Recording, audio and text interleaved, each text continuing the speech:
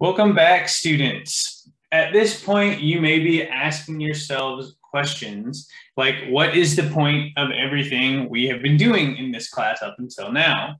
So why do we in the chemistry department think it's important for you to talk about things like quantization of energy uh, in terms of things like vibration and rotation and all other types of things that we've been talking about? Why are we doing this quantum mechanics stuff? Um, and it turns out that one of the main reasons for this comes down to spectroscopy. So in your previous chemistry classes, you have learned and used many types of spectroscopy. You've done things like IR spectroscopy, maybe UV vis, NMR, uh, and even we've seen X-ray spectroscopies. Um, and these techniques are very important and helpful to us as chemists. They allow us to distinguish between atoms and molecules if you think about it, spectroscopy would not be possible if energy was not fundamentally quantized. One example that you're familiar with will be IR spectroscopy, and that allows us to distinguish between organic molecules like alcohols and ketones because the OH bond and the carbonyl bond are uh, different and are only capable of absorbing certain wavelengths of light. This is in general true for all bonds, which gives every molecule its own unique spectrum.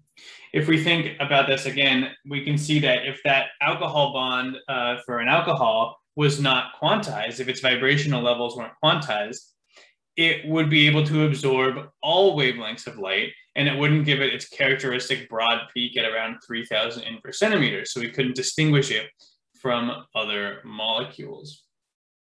So we'll see how these quantizations in vibrational energy levels, like we've been talking about, uh, lead to differences in spectroscopy. And then we'll move on to include rotational uh, energy levels as well in the next lecture. So the learning goals for today are going to be, like we've already mentioned, to recognize the importance of quantization of energy for the application of spectroscopy. So for there, right, I already mentioned this, if energy was not quantized, every molecule would not give its own unique spectrum and we wouldn't be able to tell them apart using any type of spectroscopy.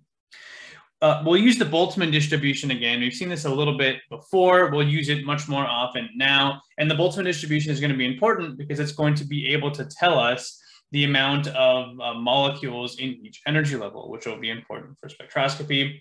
And then we'll look into selection rules, which are rules that govern which transitions are actually observable.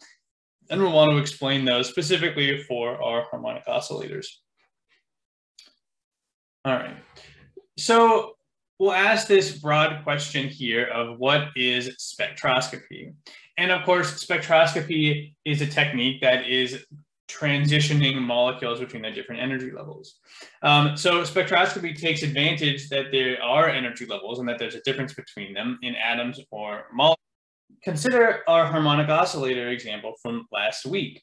The difference between the energy levels for the harmonic oscillator was proportional to Planck's constant times nu, which was a specific constant based on the molecule.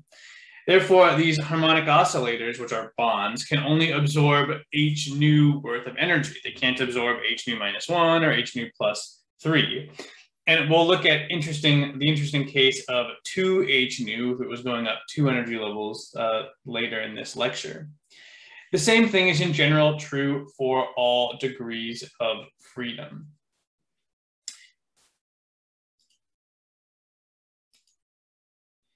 So we also might be interested in this question of how spectroscopy works.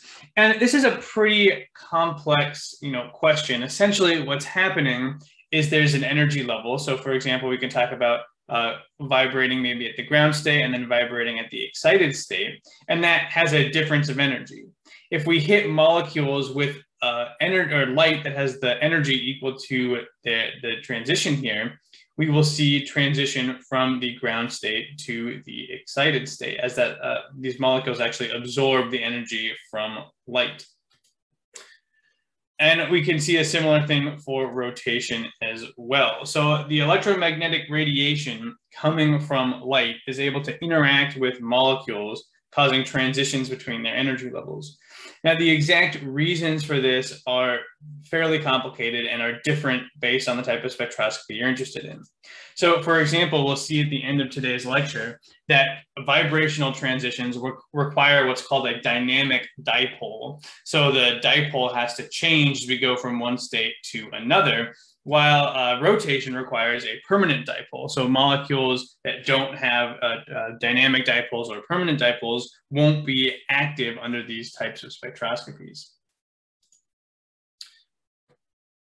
So since we need molecules with dipoles in order to absorb these kinds of light, molecules without them, such as homonuclear diatomic molecules, will not absorb uh, certain kinds of light.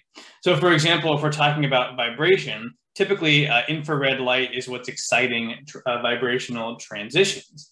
Um, so the fact that we need to have this uh, dynamic dipole to absorb infrared light means that molecules that don't have it, such as nitrogen and oxygen, will not absorb infrared light.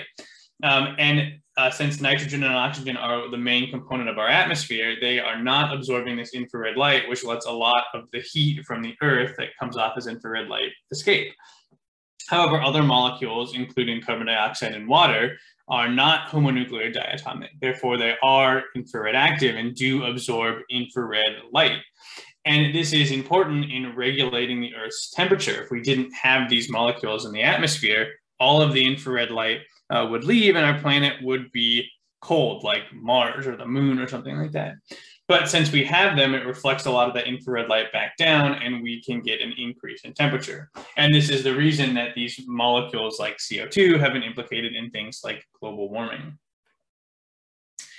There are two main types of spectroscopy that we can do, and you've heard both of these words before. They're absorption spectroscopy and emission spectroscopy. Um, for the most part in this class, we are going to focus on uh, absorption spectroscopy, where molecules absorb certain wavelengths of light. So for that to happen, we have a molecule in a lower energy state that absorbs a wavelength of light and ends up at a higher energy state. Um, now, after this happens, these will emit their wavelengths of light and go back down to the ground state.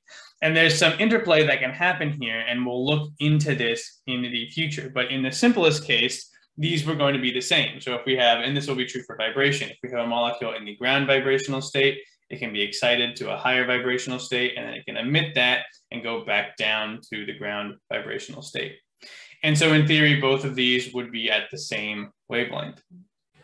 Now, the reason that we focus more on absorption than on emission is because uh, emission is a little bit harder to work with. So uh, in general, emission is spontaneous. So you can think about a light bulb and the light coming out of that light bulb is going in all directions, which makes it hard to sort of gather and quantize uh, in terms of spectroscopy.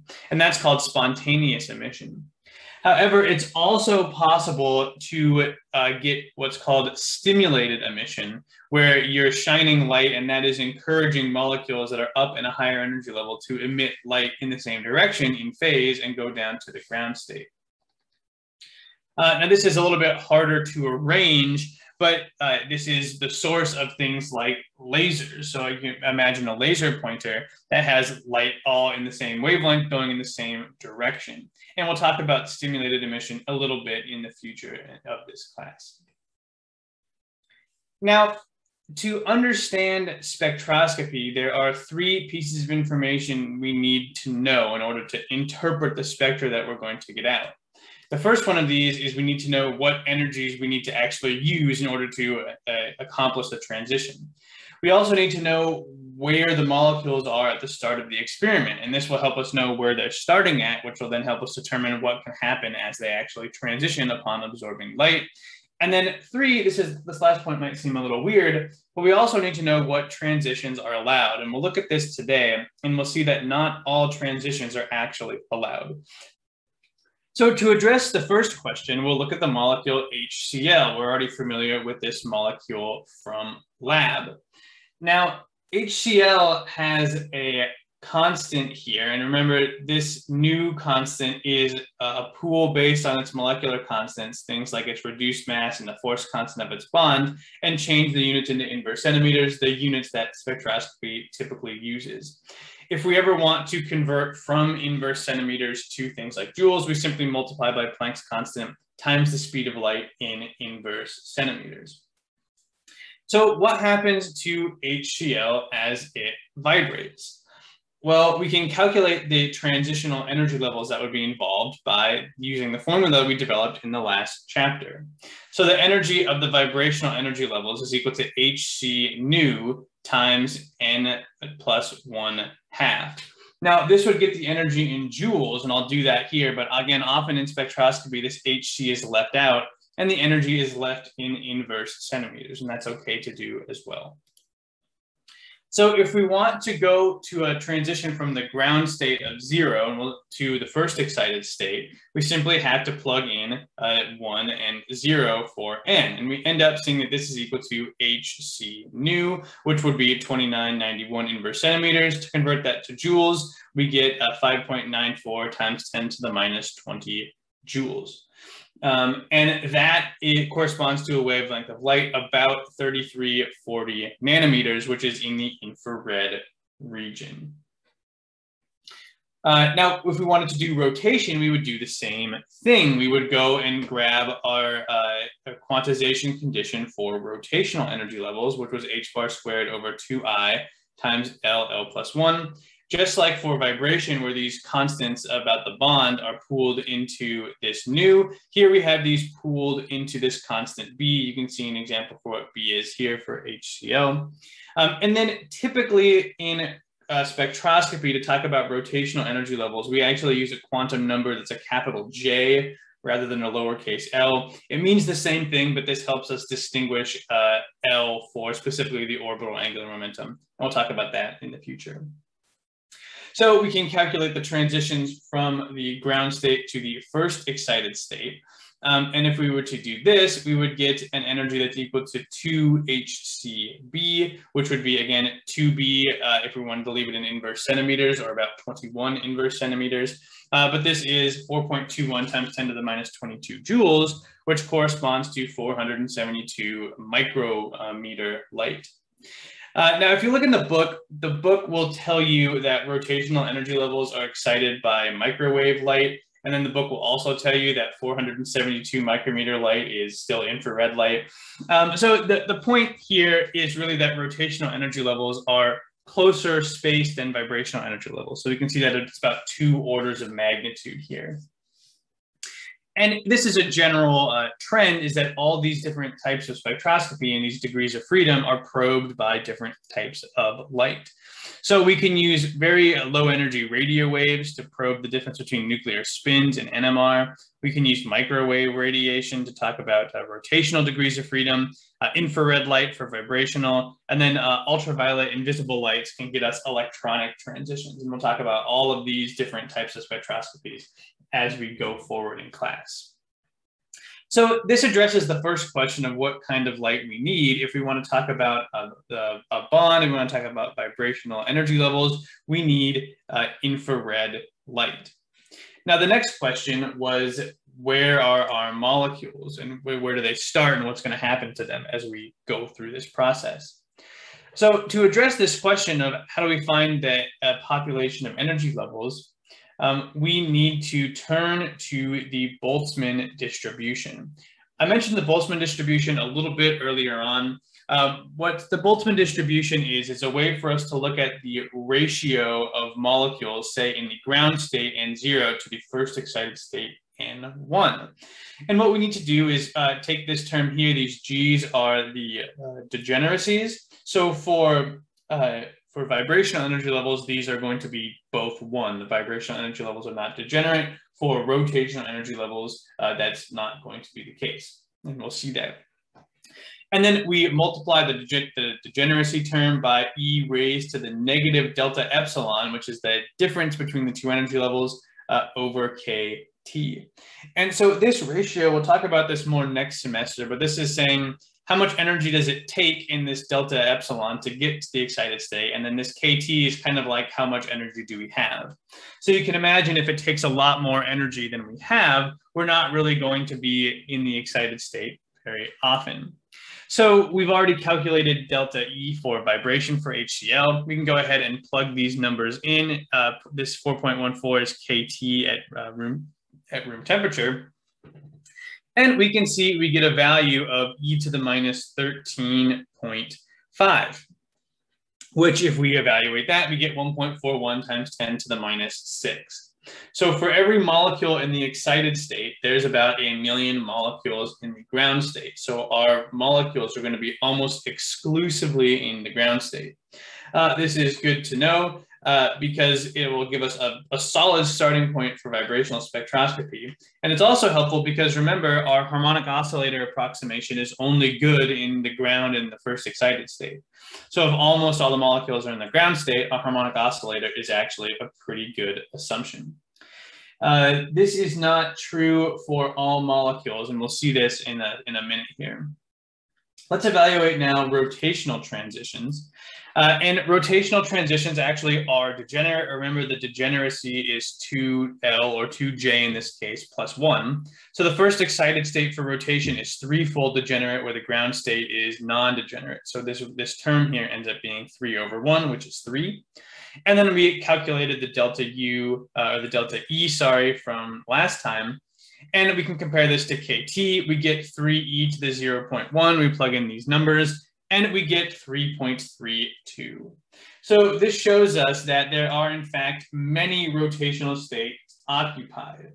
And we can go through some math, and we'll probably see this on a homework assignment in the future, that will show us that the maximum uh, for HCl here is at J equals 3.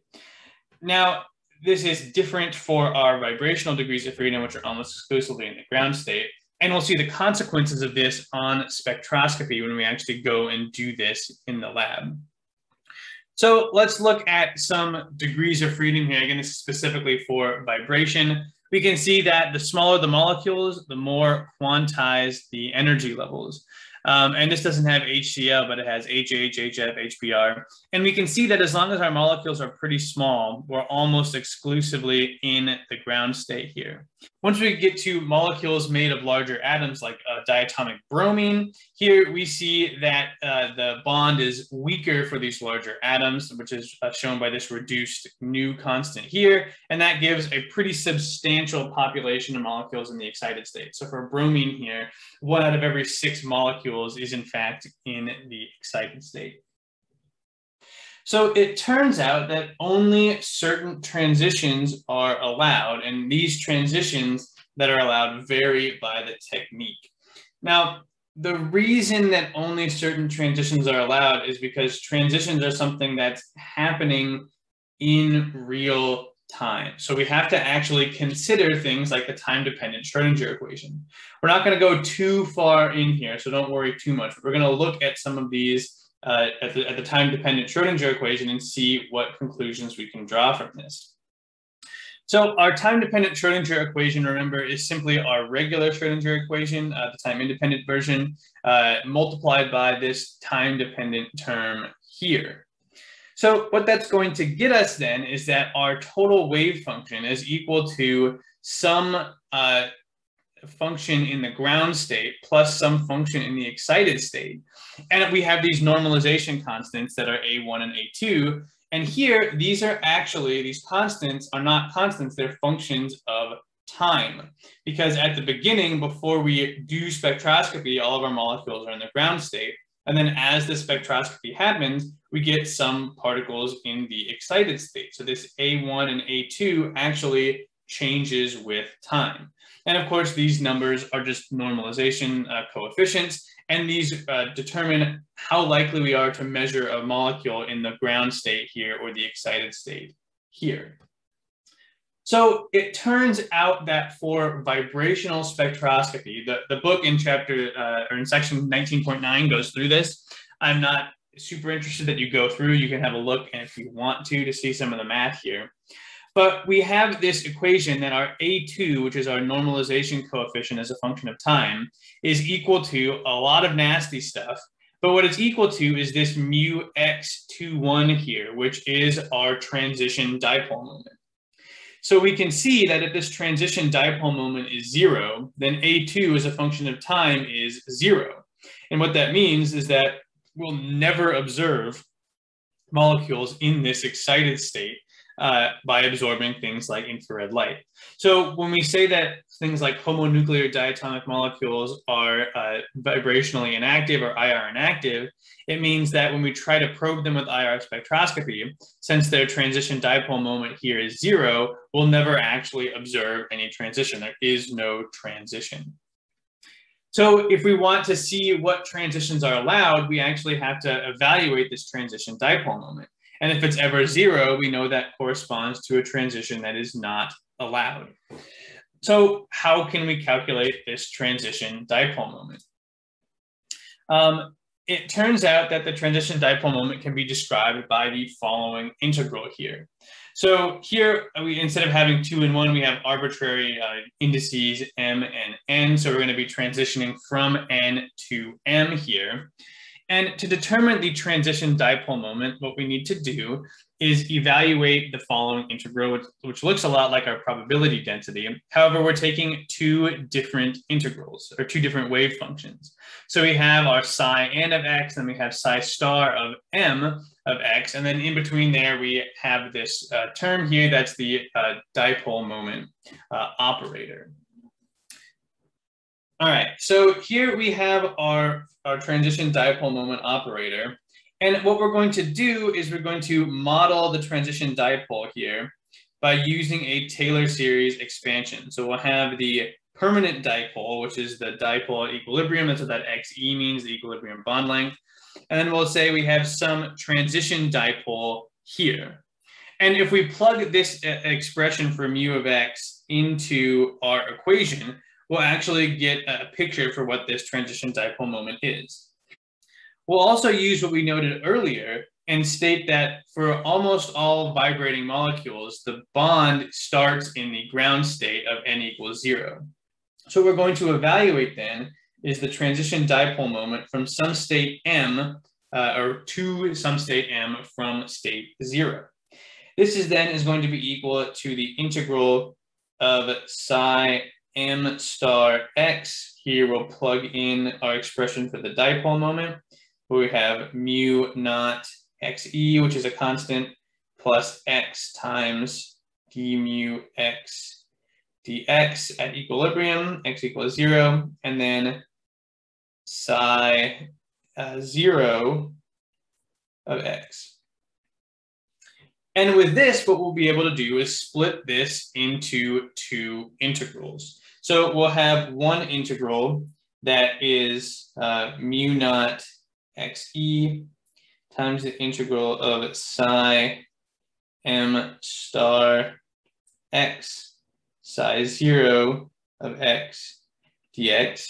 And then we'll have another integral that is d mu x dx at x equals 0 times the integral of psi m star x psi naught of x. All right, so why did we go through this process? Well, when we're integrating these, right, we're integrating over all the relevant space. So I'll go ahead and put these uh, negative infinity to infinity here. And we can notice a couple things. First, what we have here is the uh, integral of two different eigenfunctions uh, from the same set uh, over all space. And so we know since these eigenfunctions are orthogonal, that this integral is always equal to zero. And so that's why for vibration, the permanent dipole, or mu naught xe here, doesn't matter because it ends up being multiplied by this term zero. Now, what about this guy? Well, here we have this x thrown in. So we don't just have uh, the product of two of our eigenfunctions. So we can't immediately say that this integral is zero. Um, so what is this integral? Well, it's going to depend on the transition. First, let's note what's going to happen if m is even. So if m is equal to something like 2, 4, 6, what's going to happen? Well, that would give us uh, that we have our d mu x dx at x equals 0 times the negative integral from infinity to uh, negative infinity. And let's just go ahead and put in a psi 2 of x here. What kind of function do we have? Well, here we have an even function. And here we have an even function. And here we have an odd function, our x. So that means that overall, our whole function is odd, and we're trying to evaluate the integral from negative infinity to infinity of an odd function. And you'll recall that our one of our properties of our odd functions is that their integral from negative infinity to infinity is equal to zero. So our transition dipole moment is zero uh, if we're transitioning from a, a, a, ground state of psi zero to psi two, four, six, etc.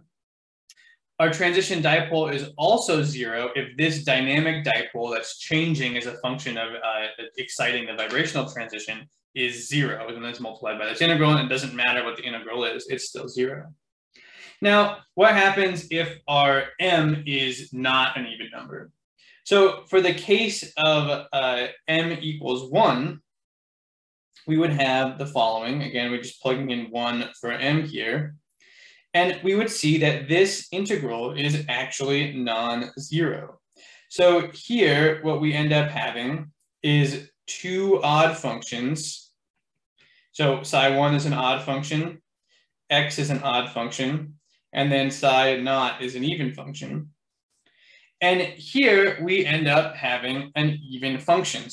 So we're going to have two times this whole integral from zero to infinity because our even functions are symmetric about the y-axis. So the integral of them from negative infinity to infinity is the same as them from uh, two times them from zero to infinity. And so that means that this transition is not zero. Now you might be noticing, well, this observation is going to be true if m is any odd number. So if m was three or five or seven or anything like that, we should also see an even function in a non-zero dipole moment. And you are half right.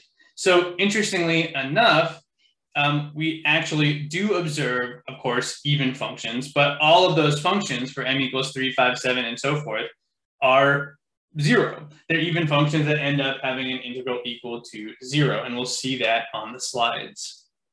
So here we can see examples of these integrals. Here is psi 1, uh, when we use psi 1 and psi 0, and we see we have some area under this curve. But for psi 3 and psi 5, we also have negative area under the curve, and at the end of the integral, it turns out that these are zero. So this area perfectly matches this area and we still get zero transition dipole moments.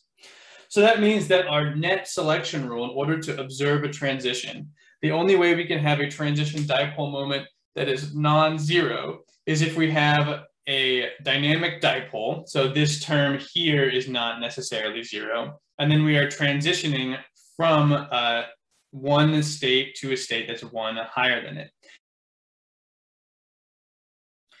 And in most cases, that's going to be psi 0 to psi 1, because almost all of our vibrating molecules start in the ground state. So here on the slides, I did it a little bit differently than I was doing it on the board, and I've broken this apart into the different components of the harmonic oscillator, but the same thing still holds. So we have our normalization constants out here, and we have h instead of psi, but these are still even and odd functions. All right. Lastly, I want to point out that transitions corresponding to things that aren't delta n equals one are possible. Now, you might be angry because you just went through all of this work showing that they are impossible, and now I'm showing that they are possible. And this is, of course, because these vibrating molecules are not perfectly harmonic oscillators. If they were, these sorts of transitions would be impossible. However, they are not. Uh, and we can model this in a couple ways. We can, of course, use the Morse potential rather than the harmonic oscillator potential um, and show that this is not the case.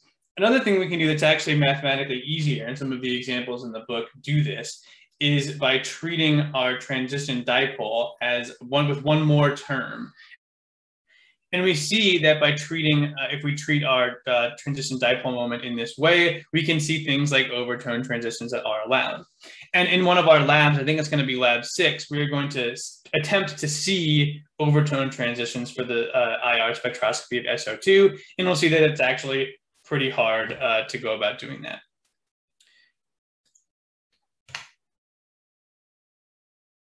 And with that, I'll finish here. We'll pick up next time with the discussion of actual spectroscopy. So we'll take these ideas that we developed this time in conjunction with the quantum mechanics that we developed last week and put those together to try to say, well, what's going to happen if we do IR spectroscopy on small molecules?